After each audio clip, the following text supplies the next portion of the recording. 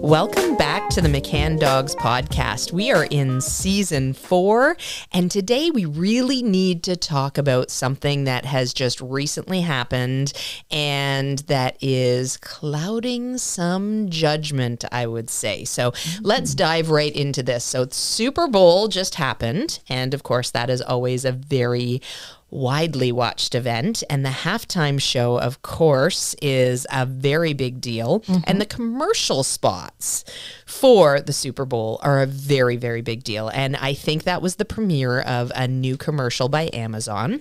And Instructor Swanee is in the studio mm-hmm. here with me today. I am. Hi, everyone. We are going to talk a little bit about this commercial, and and there's probably a lot of people who are listening who know what commercial I'm talking about. First off, did you watch the Super Bowl? I did watch the Super Bowl, and my team won. Yay! Yes, yes, Excellent. I, yes, I, I love Patrick Mahomes, and Oh. I would have been so sad for him if he lost. I just don't want him to feel sad. Oh, well, that's very nice of And you. he, with his his his um, upper ankle strain, and uh, yeah, he was awesome, awesome. Did you have any bets on it? No, no bets because I knew they I knew they were going to win, so there's no reason to bet. Oh, well, there you go. Right, No yes. reason to win Plus- more money. Plus, I have no money to bet anyways, so I would have had to bet like uh, uh, I don't know, maybe maybe Shannon's arm or her leg. I would have bet something of Shannon's. Arm and leg. I'm glad that you didn't bet then because I'm not sure You that I wouldn't have have been able it. to pay off. You Well, would you would have gained true. more arms and legs. Oh, that's what I, yeah. So maybe you should have bet my arm and leg because Right. then I'd have 3 of each. extras. That would be helpful, I think. Mm-hmm. Maybe. I don't know. I'd have to learn to rebalance. Anyways, okay, we digress. right. Yes, So, did you see this commercial? I did see this commercial, and, right. I, and I've seen it since too on regular TV. Yes, me mm-hmm. too. I've seen it several times. And the first time I saw it, and I know we were talking about this earlier this morning, and we both had the exact same impression. So, this commercial by Amazon starts out with a really lovely looking dog in their mm-hmm. house, and the family is going out for the day. And then the dog is left alone, and the dog proceeds to get sadder and sadder, and then decides to start demolishing the house, which of mm-hmm. course is very dangerous for the dog, very dangerous for the house. You know, not a good situation in any way, shape, or form. And then the next scene is the family with a big crate in the back of the vehicle. And my first thought is, Amazon, you nailed this. Right. Wow, like great job. This dog has separation related stress, potentially separation anxiety, or maybe mm-hmm. it's just a really bored dog who is Right. getting into mischief, tearing apart the mm-hmm. house. Brilliant. Give it structure, give it a crate, make sure that it learns in a systematic way how to behave in the house before you then continue to leave it alone. So I was expecting the next thing on the um, on the TV screen was going to be here's a Kong that you can stuff for your dog to keep them busy. Here is some, you know, background Right. noise, music ideas for your dog to help them get accustomed to being alone for first short periods of time and then eventually longer. And I thought, wow, Amazon, great. This is fabulous. I just love this commercial. And then whoosh, the rug came right out from under me. And I thought, oh, they went in that direction instead. And tell me what that direction was. Well, they bring the crate into the house, and you know all the dog dog trainers are cheering until they open the crate door, and out comes another dog. Mm-hmm. wah, Wah, oh, wait. wah, wah.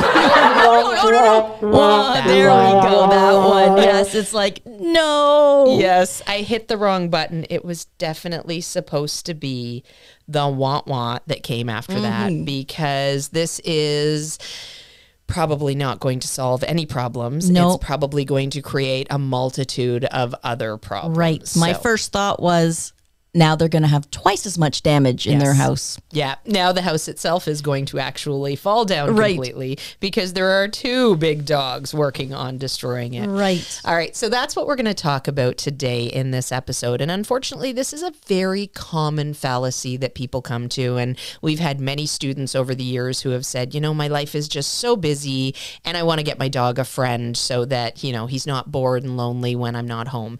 And that may very well be a good idea for a well trained adult dog to have a buddy and to mm-hmm. have another dog in the house. And of course, I think it's really important to preempt this by saying that when you get a second dog or a third dog or a fourth dog or a fifth dog, or if you're, you know, continue from there. Oh, hopefully there's there's not too too many dogs coming into your home. But if you mm-hmm. get multiple dogs, keep in mind that you are getting another dog for yourself. Don't get it for your other pets in the home. Don't get it for another dog in the home. Don't get it for the kids. You know, inevitably with kids, you are going to end up being the big heavy and mm-hmm. taking care of the dog. So it needs to be a situation where you are happy with having another dog and you have the time and the capacity to put in some work, mm-hmm. do some training, and help the dog understand how to live in a house and how to live safely in a house. Because, of course, it's more than just destroying your house. There's also all this potential for the dog to swallow things mm-hmm. and end up with blockages or potentially, you know, bite an electrical cord Right, yeah. and jump up on the stove and start the stove up and set a fire. We've all seen these mm-hmm. videos like things happen. Right. It's so important that we take our time leaving our dogs alone and we don't expect them to simply understand how to exist in our house. Mm-hmm. And I think this is especially true if you're bringing in a dog that is a rescue dog because a lot of the times they're a bit older and a lot of the times people think that they because they're older won't get into puppy mischief, which isn't untrue. They won't get into puppy mischief, but they'll get into adult Adult mischief, Yeah. which can be a lot worse than puppy mischief. Absolutely. They have a lot Mm-hmm. more strength and potential to do harm. Yeah. And I think that this this fallacy that people think that they'll be able to solve any sort of separation related stress. And I want to be clear when I'm talking about this that we're not talking about separation anxiety. If you are dealing with separation anxiety, this is really a situation where you need a professional to help you with assessment and a professional to help you with coming up with a training plan so that you can help your dog through separation anxiety. And you know, it, it's unclear what they were actually trying to convey in that commercial in mm-hmm. terms of anxiety. My guess is that they were just trying to convey a bored dog and a lonely dog. Right. And you know, there's there's all sorts of debate that we could have about um, getting a dog and not having enough time for them, etc. But realistically, that doesn't solve any problems, anyways. So let's talk about how we can make the dog part of our life without making them so dependent on us that they don't understand how to exist alone. So what mm-hmm. does that what does that look like to you? Well, we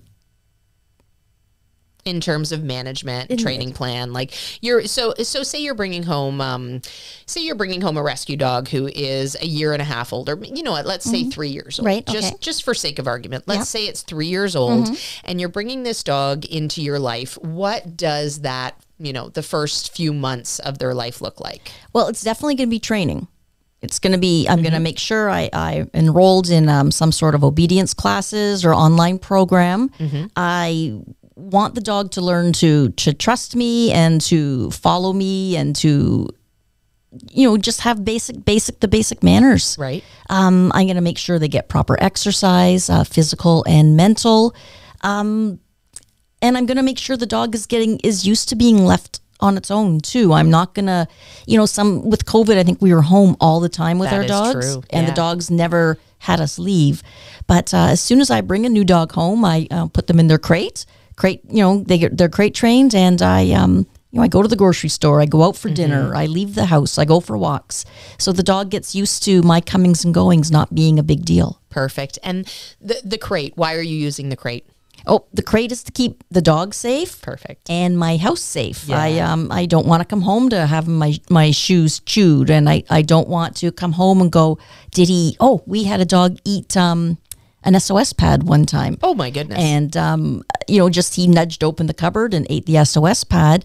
Um, luckily, I was you know caught you know, I was there and, um, you know, we got the dog to the vet and the vet had the dog vomit it. But if the dog had eaten the SOS pad while I wasn't home, I wouldn't have known that. Mm-hmm. Yeah, And that could have caused a lot of problems. And I think that this is the thing that's probably surprising to a lot of people, and especially if you're getting an older dog. eh, A lot of times people think that those are puppy things, and the older dog will no longer be in a puppy state. So they're not going to be curious and they're not going to be getting into things that they shouldn't be getting into. And that is not necessarily true. You know, if our dogs are home alone for a long period of time and they're outside of a controlled situation, and you know it's a, and it's a, it's an entire other debate you know how you should set up your dog et cetera if you're going to leave them for an extremely long period of time. Obviously we don't want to leave our dogs crated for these astronomical periods of time. But until they understand the rules of the house it's really in their best interest to be crated for the durations that you're gone. And this takes some time and it takes some working up to um, and making sure that they're in that crate and they're comfortable in that crate is all going to be part of your introduction of this dog to your home. And if you're bringing home an older dog, they're not going to be doing puppy things, but they're still going to be getting into things. And mm-hmm. sometimes those things are a mystery. Like, I'm sitting here and I can't for the life of me figure out what would be interesting to eat about an SOS pad. I mean, it's steel wool with Right. chemical cleaner Yes. all over it. I think it was one that we had used to, you know, to scour the bottom of a pan, and then we put it back, uh, you know, on a tray, Ah, so it had a bit of a food smell to it. Okay, gotcha.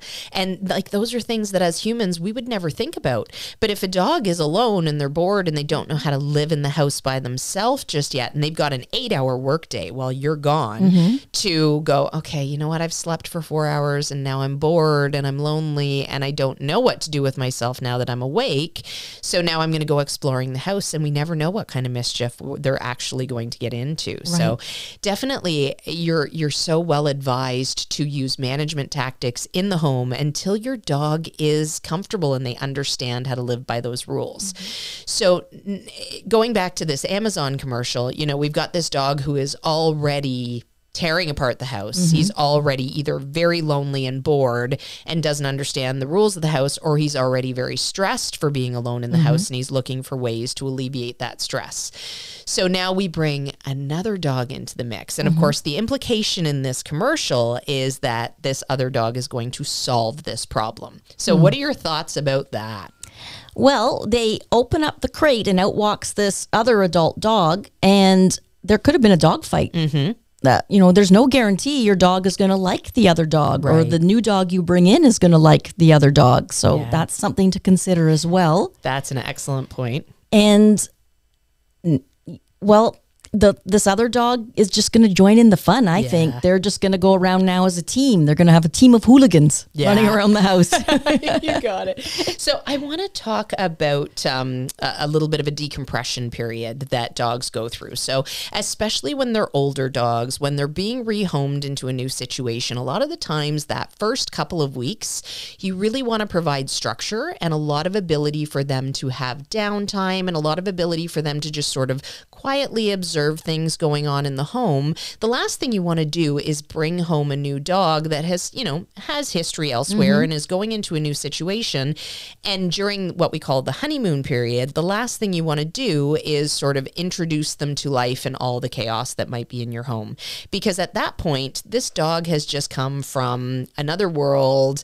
They've they've gotten used to different mm-hmm. things and now all of a sudden they're in this sort of chaotic situation. And some dogs roll with it really, really well. Right. And some dogs are very put off by it. Mm-hmm. And in those first couple of weeks, of course, we're setting a tone for how the dog is going to behave in our lives, etc. So if they come into the house and right away you think, okay, you know what, this dog is three years old, they're going to understand the rules of the house, and you leave them to their own devices, during that you know, decompression period, if they are feeling stressed out, they're going to be looking for options to alleviate that mm-hmm. stress. And of course, new home, new situation, that could mean anything for the dog. And it mm-hmm. could end up being a situation where the dog does serious damage to itself, to the home, you know, and, and a lot of the times dogs will quickly get returned to rescue because the expectation of that dog coming into the home is something completely different than what reality actually is. Right. Yes. People often have such high expectations of dogs Yeah. that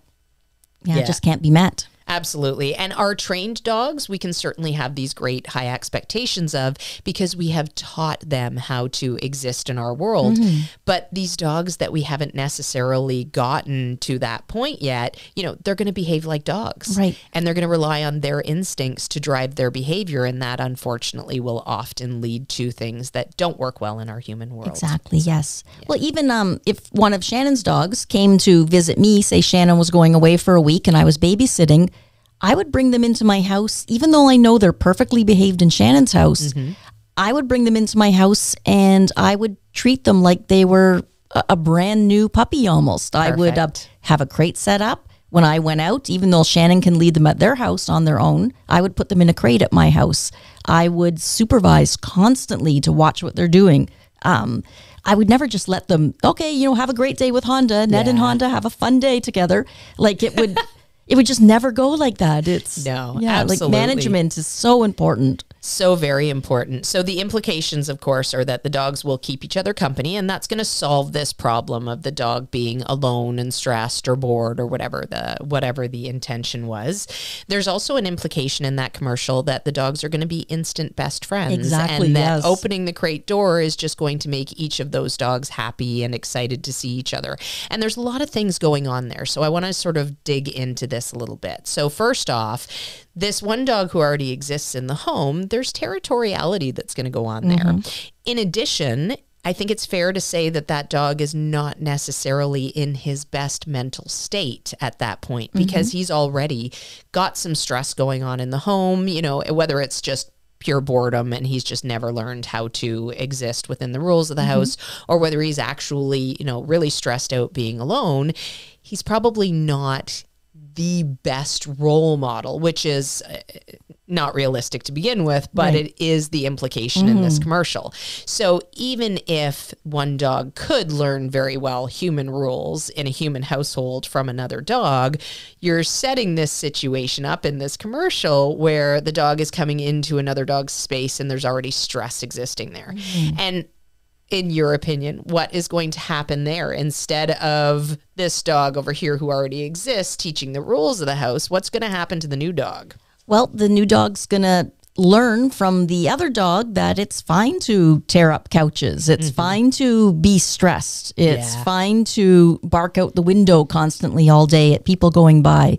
So the the new dog is going to pick up on what the established dog is Yeah. doing and you're going to have two two on your hands. Absolutely. Right. And that is exactly the problem. In all likelihood, it is going to backfire to the extreme. And now you're going to have two dogs tearing up the house instead of that one dog tearing up the house. And now you've got two stressed dogs because, in all likelihood, if the first dog is stressed, the second dog is going to pick up on that stress as well. And even if he doesn't understand why there's stress in the situation yet, because this is a new situation for him, he is still going to feel that stress and he's probably going to uh, uh, engage in the same sort of activities to alleviate that stress, which is traditionally, you know, pacing, barking, chewing, things like that, that are really not going to be good in the long run for both dogs. Right. Yes. It's like if one of our, uh, you know, say, you know, one of our relatives, Uncle Joe, is is lonely. Uncle Joe. We we spend more time with them, and we do things with them, and we we think of activities to do with them. We just don't go and find, you know, like, oh, well, here's here's a man over here who's lonely. Let's just toss them in the same house and leave them be and see what happens. we.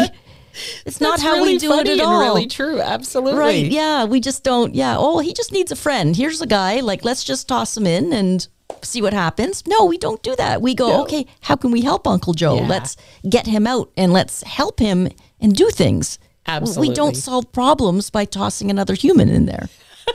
So why would it work with our dogs? yeah, and this is such a golden point. I think that's so so important. So you're probably not going to solve the problem in that way. You're probably going to create a much bigger problem for yourself. So Mm-hmm. the other um the other implication of the commercial is the quick fix. And Right, I yes. Mm-hmm. really hate that implication because when you're dealing with dogs, there are rarely quick fixes. I mean, there are certainly things that work and will work quicker than other things, but rarely is there ever a solution that is a singular vein that is going to solve this problem without you having to roll up your sleeves and do some work.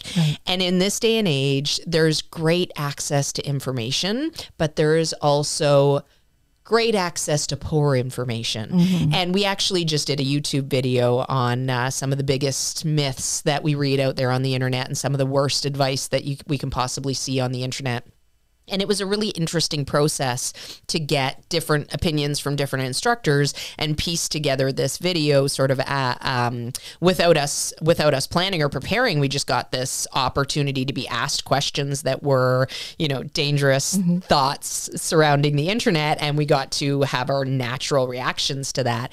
And it was a, a really interesting video, and we got a little a lot of really good comments saying, you know, I didn't realize that I couldn't believe that piece of information from the internet, et cetera. We mm-hmm. we have this automatic response to news programs and things like that where and and internet now and it used to be TV so much but if you remember the house hippo commercial Oh, I love the House Hippo Yeah. commercial. I still want one. I still want one. great absolutely me mm-hmm. too where can I get mine I don't know. I think they look like those hairless guinea oh pigs. Oh we could always get those skinny pigs. They're called. Yes. Yeah, if you have not seen the House Hippo commercial, Google House Hippo, and you will see the commercial, and you'll know what we're talking about. So basically, it was a a, a warning for kids: truth in advertising. You mm-hmm. know, Mm-hmm. it doesn't matter what the source is; you have to question things, and whatever it is that you're looking at or listening to.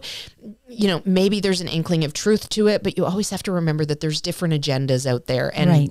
You know just just like with this commercial the idea is to sell this warm fuzzy feeling surrounding the equipment that is being purchased from amazon the mm-hmm. crate etc but unfortunately the message that came through has got dog trainers the world over you know their hair Right. standing on end Yes. and you know Yes. i wonder how many of us were like amazon Right. you nailed it in the first 10 seconds yes. and then boop that rug came out Right, from under us because i know both of us had that exact same did- response yes, to it Yes. And now that family has not only one untrained dog, now they ha- probably have two untrained dogs. So it's going to be double the training time, double the walk time, double everything now for those people. Yeah. Rather than just taking the time to train their one dog. Yeah. And then once the one dog was trained, then they can bring in the other dog. Yes, You know, have, having two untrained dogs in a house at once is, is chaos. It is absolutely, and you, you just never know what's going to happen. So mm-hmm. let's dive into that a little bit. So we've talked about the need to train and the need to mm-hmm. work through this problem with this individual dog, and if it is separation anxiety. It's definitely something that we recommend that you see a qualified professional with because blanket information is not going to do very well in that state. A lot of dogs can get into what I like to refer to more as separation related stress. And that can be a precursor to separation anxiety. But at those first signs of separation related stress, that's a good opportunity to start to think about some of the routines that you're using and some of the precursors to you leaving, et cetera. And how are you how are you leaving your dog when you're leaving the home? Are they in a contained space or do they have access to the whole house? A lot of the times I think that um, people will often allow their dogs too much freedom in the home without realizing what that does for the dog. So what do you think with a dog that is home alone, for example? what is that dog thinking in that moment? He's home alone and this is his territory. He's thinking. I'm not sure quite. You're what? what So, yeah. Shannon's asking me tough questions today, but I didn't have a good a good night's sleep either, so I might just be a little bit off. the tougher ones are yet to come. Yes. Oh. So I'm thinking in the safety realm and in the territory realm, and I'm thinking that a lot of dogs think, okay, this is my space that I Okay. have to Yeah. take care of and I have to protect. Oh, And- okay, I get what you mean. yeah. Yes, yes. And that that can put a lot of pressure on dogs. And basically, if something does happen, like the evil mailman comes Mm-hmm. Right. to deliver mail, now the dog is responsible for keeping everything safe. Mm-hmm. And the dog is also on their own and responsible for keeping themselves safe. Right, yes. Mm-hmm. And they don't have a leader to look to to say, give me guidance. Should I be afraid of this mailman coming to the door or shouldn't I? Mm-hmm. Whereas if they are still young and if they're still not sure how to react to those things, being contained in a crate, that gives them feelings of safety and Right. having that, safe space and, you know, something to occupy their time in that safe space as Right. well. So this sort of gets into the enrichment stage of things and the enrichment side of things. And we always classify enrichments into two categories. What I, I, always call them category A and category B. And category A is the good enrichments that include us. So mm-hmm. things like training, tricks, you know, all of the things that make us part of the picture for our dogs mm-hmm. and will enhance our relationship. And these are things that you can do ad nauseum. And and I should preface that with a caveat that training should also include some trained downtime and a trained off switch so that it's not just constant go, go, go for the dog's mind. And then there's no downtime in there as well. It's really important to have, even with enrichment, you can overdo enrichment in so many ways. And it's really important to have a good balance and to have a dog that's not constantly looking for enrichment right, and yes. that can shut off and have a good off switch mm-hmm. in the mm-hmm. house. And I think that's sort of a it's a road that we've gone down these days with our dogs that can sometimes get a little bit out of control because we just want to give them their best possible lives. Mm-hmm. So we're always looking for things to enrich them. And sometimes there's this constant enrichment, sort of like the kids with the video games and the kids with, you know, this concert, that concert, and mm-hmm. everything going on to sort of subsidize their lives and make their lives better, which in balance is great, mm-hmm. but when you're constantly in being enriched, there comes a need for more and more and more. And the dogs tend there. There's a lot of dogs out there that don't necessarily know how to come down and just relax. Right. So we always are good advocates and strong advocates of creating an off switch in the dog and mm-hmm. making sure that the dog, yes, has a wonderful life and lots of training and lots of enrichment mm-hmm. and you know in every way, shape, and form, but they also know how to just be calm right. and just be a dog, and they can be comfortable just relaxing in the house mm. and having, you know, having a joyous time by not doing anything. Right. Yes. Just like us reading mm. a book mm-hmm. sort of thing. Um, so the enrichments from column B are things that don't involve us. And those are things like doggy daycare. There are things like dog parks, snuffle mats, you know, all of the things that bring enrichment to the dog's life, but in a self serving kind of way or in a self rewarding kind of way. And you can definitely overdo these enrichments very easily. We strongly recommend lots of enrichments from column A and small amounts of enrichments from column B. However, if you are a, a, working person and you have an eight hour workday that you need to go and spend outside of the home, obviously that's a long time for the dog. And we want to leave them with some things that will help to mentally stimulate mm-hmm. them, as well as we want to leave them with enough opportunity and time to rest and relax and sleep. And we're really, we're creating a, a situation for the dogs. We're teaching them how to relax and mm-hmm. how to be calm when we're absent. So we don't want to have too many things for them to do. I know um, a lot of times students will come in with with problems with their dogs being destructive in the home and we ask you know uh, what sort of setup do you have for the home like where is the dog when mm-hmm. you're out et cetera et cetera and they'll inevitably be even if it's a contained situation mm-hmm. there'll be an x pen with you know three or four snuffle mats and five stuffed kongs and you know in that case the dog's probably bouncing from one thing to the other to the other all day mm-hmm. long and then when they lose interest in those things because they don't really know how to come down and just relax right. now they're looking for other things and that's when they can start to get into mischief outside of that little mm-hmm. world right so yes and even uh, one thing too is maybe a bit off topic, but having access to an open window where the dog can mm-hmm. bark, bark, bark, and then he, he's all high from that barking, yeah. and he turns around, he's got all that pent up energy, and he's like, "I see a pillow." That's gonna, a really good point. Yeah, pull it away. So yeah. I, um, you know, I never allow my dogs to have access to a, a, window outside because it just riles them up too much. Gotcha. Yeah, and and until they understand the rules of the house and how to relax from that, that is a really, really valid point. Actually, um, one of the few times that uh, I'm usually really good about management, I'm really good about training and I'm really good about I'm very much a planner. So mm-hmm. I usually have my ducks in a row and I don't uh, I'm very risk averse as well, so I don't tend to push the envelope mm-hmm. and allow my dogs freedom before I'm really confident that they're ready. But one of the few times that something got destroyed in my house was Reggie when he was a youngster. And this you just reminded me of ah. this when you were um, when you were talking about the window. Right. So I was shoveling. Mm-hmm. And because I was shoveling the front part of my house, he was inside watching me through the window. Right. And I guess he must have gotten really stimulated watching mm. me shovel mm. because, of course, when I shovel off the back deck and whatnot, the dogs are always part of that. And it's right, a game yep. and they get to go and chase, chase the, snow the, snow as it flies, yep. etc. Mm-hmm. And he took one of the pillows off my couch and right. I came in the house and there was a explosion of little cloudy fuzzy things. He made his own snow. He did. he made his own snow in the house, and then I had to shovel that. Right. but yeah, that's from him. He was, yep, getting riled up by watching and Yep. then he acted out. Yes. Yeah, absolutely. Okay, so we were talking about enrichment. So having our dogs be able to come down and relax is such an important part mm-hmm. of things. Yes. How do you use enrichment when you when you go out of the house? Do you leave your dogs with anything when they're crated?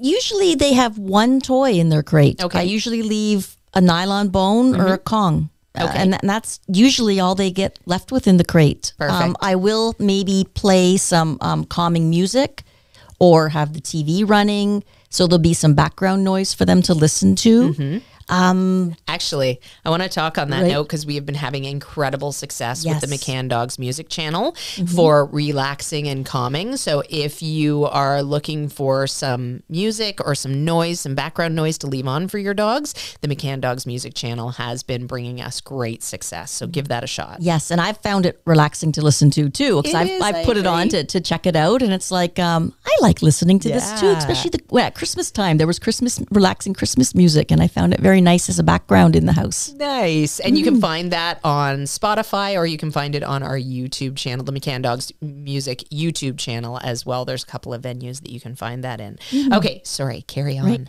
I make sure the crate is in a, a spot where it's not going to get a direct sunbeam on it, or if there's any drafts or anything like that. So it's in a in a cozy area of the house where the dog feels secure. Um, they have a toy, maybe two toys, maybe at the most, and um, some music playing, and, th- and that's that. That's Perfect. Yeah. And how does this situation evolve as you continue training and they continue learning the rules of the house? So when you decide that it is time to allow them a bit more freedom in the house in your absence, what does that look like? Well, I'll first pick a room, uh, you know, maybe the kitchen or the living room, somewhere when I can baby gate it off so they don't have access to the whole house. Okay. Uh, maybe the back of our house is like a laundry room, a mud room. And the first time I'm going to use a baby gate, and I'm going to only leave them for maybe five minutes. Maybe I'm going to walk out the door, go to the mailbox, and come back. Okay. And very casually, like when I leave the dog, I, I often don't even say goodbye to them. I just, you know, put the baby gate up and I leave. So there's no big hype about me leaving. Then when I return, there's no hype also about me coming home. There's no party when I come home. I just take down the baby gate and go about my business. I love that.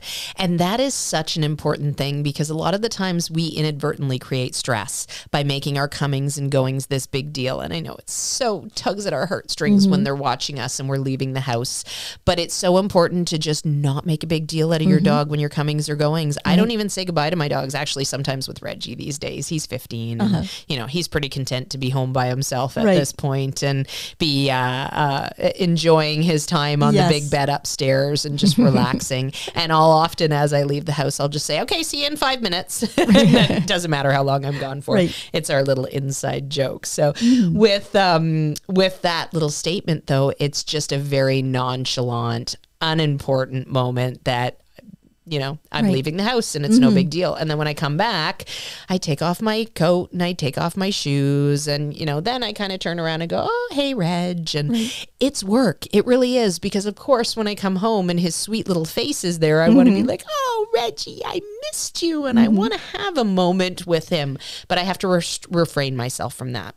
Restrain myself from that because mm. It doesn't do my dog any good in Right. that moment. And it actually sets him up for failure the next time. Because if he's anticipating this big moment at my arrival, mm-hmm. then that's what he's going to be focusing on. And that will sometimes lead to some stress and lead to some anxiety as the dogs are, are headed for those, you know, the time when they know we're going to be home and they pick up on things Right, so, so yes. well. You know, uh, they pick up on the extra traffic patterns when mm-hmm. it's five o'clock and they hear lots more, lots more cars coming down mm-hmm. the road or the buses maybe, or whatever the case may be, the kids on the school bus and all of those noises are triggers for them because of course they are waiting for our arrival Right. back home Yes.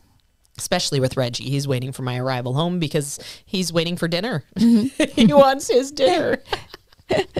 oh my goodness. So, in terms of those comings and goings from the house, I think it's really important to note that a lot of the times we accidentally create these patterns of stress. So, Yes. one way that we do that is through the uh, excited leaving or the sad leaving, I guess would be more Mm-hmm. Right, appropriate. yes. The excited coming and the very sad going, where we Right. make a big deal out of it and we sound worried potentially because we're like, I'm going to miss you so Right, yeah, much. oh and- my gosh, you'll be good when I'm gone. And all Yeah. of that will often lead to stress yes. for the dog. The, dog can feel those emotions Yeah. and it leaves him in a state of anxiety. Yes. Absolutely. And when they associate your worried tones with you then leaving the house, that starts to become a connected thing. Right. The other thing is for our really adept dogs as well, who are starting to build stress when we're Mm-hmm. leaving, is we often pattern things where we go to the door, we put on our hat and our mitts, we pick up our keys, we Mm-hmm. unlock the door, we open the door, we close the door, we lock the door. So all of those things become precursors to the dog then becoming stressed, and the stress will start earlier and earlier. So I will actually make a point with my young dogs, or if I've got a visiting dog in the home that I know is going to be there for a while that's a little bit older, I'll make a point with those situations of going to the door 10 minutes before I'm going to leave and I pick up my keys and put them in my pocket at that point. So mm-hmm. it doesn't get associated with me opening the door. Or I will go and put on my coat and mitts, you know, five minutes before I'm about mm-hmm. to leave. And then I walk through the house again. Or, you know, this one actually happens quite naturally for me. As I'm leaving the door, my last thought is always, oh, should I go to the washroom quickly? Because I tend to uh, I tend to drink a lot of coffee, and then those long car rides, of Right. course, can be torturous. So a lot of the times I'll put on my coat, and then I'll think, oh, should I use the bathroom before I leave? And then I go back in and I use the bathroom. So that sort of um, scenario where I've not put on my coat, opened the door, and left it becomes kind of a, a more clouded scenario for the dog where they're not associating these definitive things Right. with my mass exit. So I try to mix things up. Do you have anything in your your routine that you Well, my dog, my dogs are older now, but Mm-hmm. when they were younger, I definitely would. Yeah, sometimes I'd put them away long before I left too. So it would be like, okay, you're back in your room, and Mm-hmm. um, now I'm, you know, I've got a couple other things to do, and then I'm going to leave. So sometimes my my leaving time was longer than it wasn't. You're away and I'm gone. Right. It was okay. I'm putting you away, and then 15 minutes later, I'm finally going out the door. right? But I find it interesting now if I leave the house and then I realize I've forgotten something Mm-hmm. and I go back in the house, the dogs are always in their beds. It's like, Love oh, she left. Yeah, You know, they're we're never up go milling sleep. about. They're they're they're in their beds. Yeah. Yes. I love that. And Reggie too. If I if I do the same thing, if I forget something and I come back inside, he's already upstairs on the bed mm-hmm. on his back, just enjoying life. And sometimes he doesn't even hear me coming or going again because he's deaf at this point.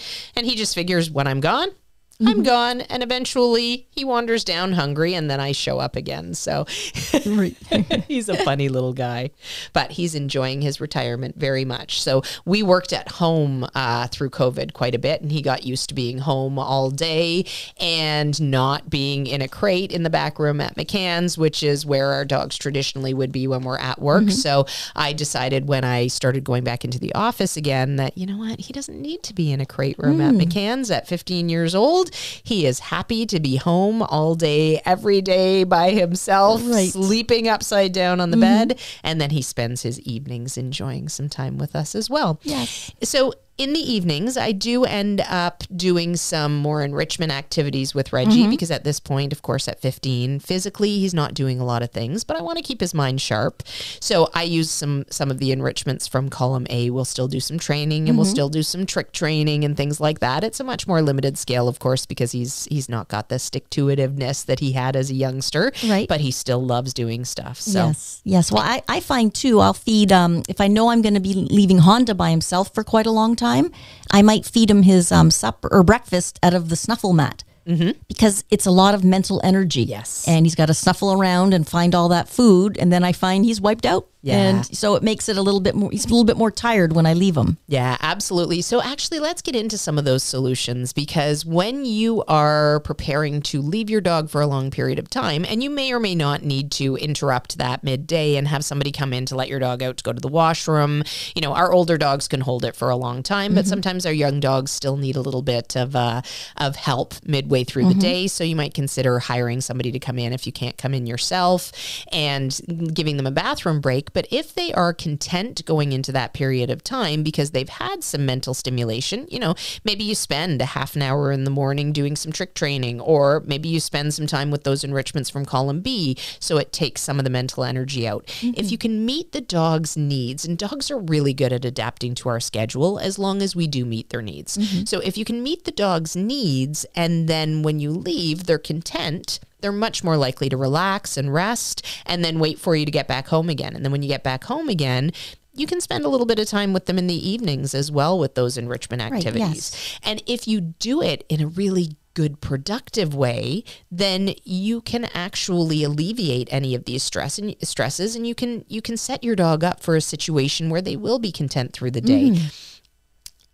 You don't need to spend your entire lives enriching your dogs and you don't need to spend every waking hour enriching your dog but you do need to do some things with them that will help them you know bring down their energy level and whatnot and um, we always say you can't put them up on the fireplace mantle through the week and then enjoy them on the weekends Right. because they they need more than that yes. but we've also become this society where we think it's constant enrichment that they need. And it, the truth is somewhere in between. Right. The truth is about balance and mm-hmm. finding a good space for your dog in terms of that mental stimulation, especially. Right. And I always like to remind people that if you are relying on physical stimulation, you are actually making your problem worse. So, yes, they need some physical stimulation without question. And depending on the dog and the breed, that will vary mm. the level of mental st- or physical stimulation, pardon Right. me, that they need. But the physical stimulation actually conditions them to need more physical stimulation. So mm-hmm. the more you get out there and throw frisbees for your young dog, the more they are going to need in order to feel satiated because you're conditioning an athlete. You know, when we go to the gym ourselves, we try to go on a systematic routine mm-hmm. so that we can actually condition ourselves to have more energy and have more muscle, et cetera, et cetera. Mm-hmm. And with our dogs, it is the exact same thing. Right. So, a little bit of uh, physical stimulation, enough to meet their needs on that level, but not pushing it to the point of exhaustion is so important.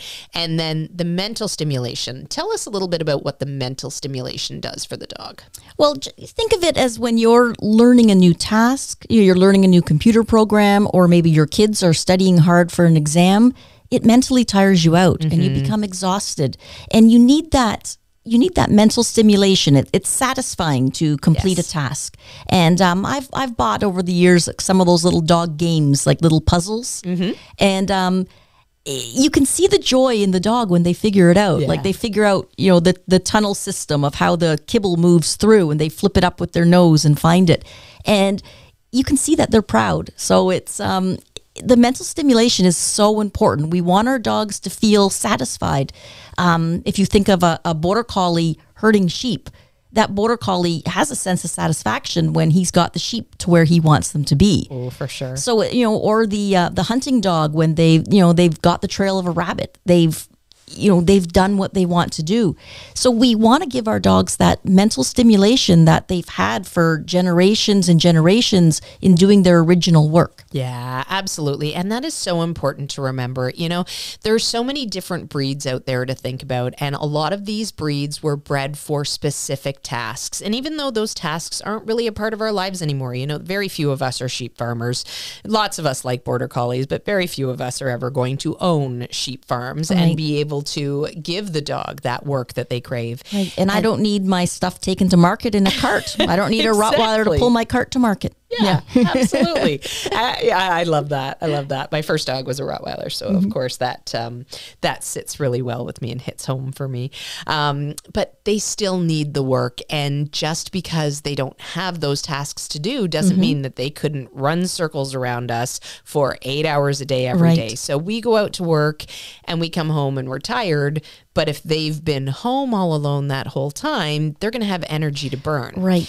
So this is where, you know, choosing your breeds wisely mm-hmm. is so important because in reality, if you are working all week long and then you just want to come home and put your feet up on the coffee table and watch Netflix in the evening, even if you're really busy on weekends, there's a lot of breeds that are not weekend warriors. Right, they are full-time dogs mm-hmm. and especially our working dogs. So if you are considering a working dog, you're going to need to find things to help them be satiated through the week, to meet their needs through the week. You know, really do your homework and figure out what the needs of that particular breed that you're interested in is going to be and find a dog that is going to fit into your lifestyle so so well that it's just going to be a match made in heaven rather than a frustration point for both you and the dog. Right. Yes. Yes. So many dogs are just, you know, they're understimulated, Yeah. under exercised, and it's just, you know, it's. Yeah, like like I, you know, I've had Belgian Malinois. and They Mm-hmm. required a lot of work, and yes, I was able to leave them, you know, eight hours while I went to work during the day. But you know what? Before I left in the morning, I did work with them. Yeah. When I came home at night, I did work with them. Yeah. On the weekends, I did work with them. Yeah. I I wanted to be sure that the dog was, you know, I was treating the dog fairly. Yeah, absolutely. And that is such a critical thing for living harmoniously with our dogs. So keep that in mind. You know, if you can think about how to strategically plan these things, you will be able to spend less time through the week and then you can mm-hmm. do the weekend warrior thing and you'll be able to meet the dog's entire needs in the entirety of the week instead of just on the, The weekend, weekends. yes. So a little bit of time in the morning, a little bit of mental and physical stimulation. And if you're not sure how much is too much, keep a diary, keep a little journal of your dog and what has worked and what has not worked. And of course, this is especially important as you are looking to give them more freedom in the house. So the structure and the crating is great for our young dogs, but then as they grow up, we do want to be able to leave them loose when we're leaving for work for that eight hours in the day. So you want to know as much about your dog as you possibly can when they get to that point. And the best way to do that is just to track, you know, okay, so he was in his um he was in his relaxed mode for a full 8 hours today and when I got home, he was bouncing and full of beans and I only did 15 minutes of exercise and fun with him in the morning. Then tomorrow, okay, so I did 20 minutes of trick training before I went out. And when I got home, he was much more relaxed. You know, y- you just make notes about about what works for your dog when and how and over time you're going to make you're going to be able to make connections that are going to serve you very well and give you very good information Right. Yes. I just with uh, my Sheltie Atari. She um, came from a strong herding bloodline, and I remember thinking to myself so many times that she would love to have a chicken or a duck that she could boss around and herd all around. And um, but of course, I you know I live right in the city, so I couldn't get her a chicken. I think if I lived out out out out, out I would have out in the country. but instead, what I did was I got next um, amazon commercial out comes a chicken, from the crate for Atari. Because she loved, you could just see she wanted, she had that herding breed kind of bossy, like, you know, I want to move things. So what we did instead was we got a um, a large kids plastic ball from Walmart. Yeah, you know, they're about that big. And, um, a, you know, we encouraged Atari to push that around and we'd kick it and she would push it places and we'd kick it so and she'd fun. push it places. And that was kind of her chicken. And um, she loved to move that ball around with her nose and have us to kick it and try to play keep away. And we had a lot of fun with that ball. So and um, it, it it gave her some mental stimulation Yeah. that kind of you know sort of related a little bit. Instead of hurting a chicken, she was hurting this big ball around. I love that. That's great. And really, dogs are really happy if we meet their needs most of the time. They're really happy to go, okay, now I'm going to nap until the next time I have needs that need to be met. Mm-hmm. Right? Until there's another ball that needs to be herded. Yeah, absolutely. So I think that the takeaway from this episode should be don't look for quick fixes. Don't expect to solve your problem of a lonely dog by bringing in another dog. You're probably just going to exacerbate your problem. It is very rare that that would actually be a solution. Right. Well, it's well, it's nice for them to have a buddy to hang out with through the day. It's got to be the right buddy. You want to make sure that they're well trained enough that they understand the rules of the house before you introduce another dog. And then remember that you're going to have to go through that same process with the other dog as well. There really are not quick fixes, and it's going to be a little bit of a nicer time, I should say, a lot of a nicer time if you go about it with a realistic expectation rather than, you know, this really lovely, warm feeling that this poor lonely dog is now getting a friend and he's not going to be lonely anymore. But sadly, that is It's- really yes. not reality. Right. Uh, when one of my corgis passed away, and my one corgi had never been dogless before, and I felt bad for him, but I didn't get him another puppy. I got him a canary. oh, okay, that's interesting. Let's talk about that. Right. So um, I knew I wanted to get another puppy, Mm-hmm. and um, but uh, you know I was waiting for the right one to come along, Okay. and so it took you know I think it was a good year before the right puppy. You know I, I it was the female was bred, and I got the puppy I wanted, and um, so we bought a canary, and we named him Sprout, and he was the most wonderful singer. And I thought now Gavin, that was the corgi, doesn't feel alone in the house. There's there's another living being in there when we go out. Now at first when we brought the canary home, we blocked off his cage so Gavin couldn't get anywhere near it. Of course. I wouldn't want to come home and find No. the canary in, in Gavin's tummy. but um, so but you know we put the canary in the house and that made me you know it's like there's something else in the house. He's not by himself and the beautiful singing and uh, we loved that canary. It was a really good addition. So um, you know Sprout. just yeah sprout little sprout. He was green and yellow. So you know just adding something you know small like that if you want to look after remember you have to look after these animals That's too exactly it. so uh, you know they're extra costs they're extra time extra Mm-hmm. food but um, uh, you know I, I felt that was kind of a nice a nice way to give another living being in the house Yeah, absolutely. And without that potentially becoming a disaster, because chances are Sprout wasn't looking for advice from Gavin. no nope Perfect. All right. Thank you so much, Swanee. That was a great episode to do. So, if you are thinking about adding another dog to your household, some great tips for you to be able to do that. And on that note, I'm Instructor Shannon. i'm instructor swanee Happy training.